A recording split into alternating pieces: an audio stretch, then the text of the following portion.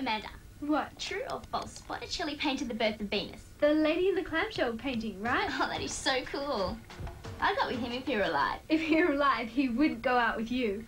Look at this, come here. Oh my! Calypso's cool. Dividing bacteria. Cambodia. And very chemical compositions. Some plants are actually carnivorous. Did you just see that?